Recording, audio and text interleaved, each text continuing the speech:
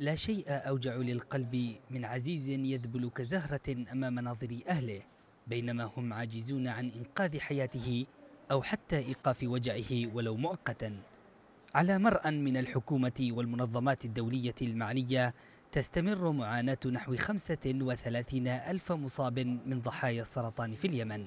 لحد الآن حالته مش مستقرة كما شفتوا الآن.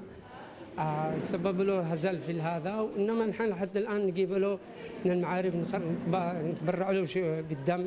لحد الآن ترى أربع أول وأربع وحدات وبعدين أربع وحدات وبعدين أربع وحدات. دم؟ بس يقول لك إنه العلاج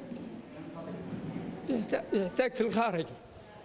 هذا بالنسبة لي مستحيل أنا ما أقدر. آهات وأوجاع تشق القلب ولا مجيب.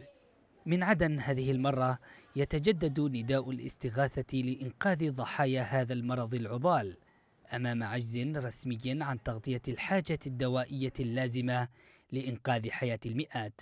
نحن نفتقر لكل مقومات الخدمات الصحية في أقل مركز للأورام في أي دولة من الدول العربية. ما بنقولش دول أوروبية ولكن العربية.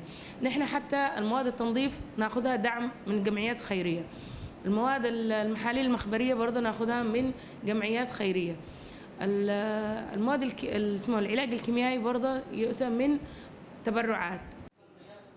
من جهتها اكتفت منظمة الصحة العالمية التابعة للأمم المتحدة بالتحذير من أن 35 ألف مريض بالسرطان في اليمن يواجهون خطر الموت بسبب انقطاع التمويل اللازم لعلاجهم.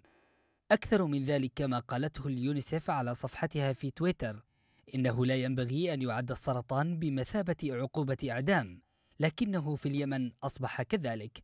وبحسب منظمة الصحة العالمية فإن توفر علاج مرض السرطان في اليمن صار خيارا غير متاح لثلاثين ألف مريض بالسرطان منهم حوالي 12% من الأطفال الذين يعجزون عن توفير تكاليف العلاج.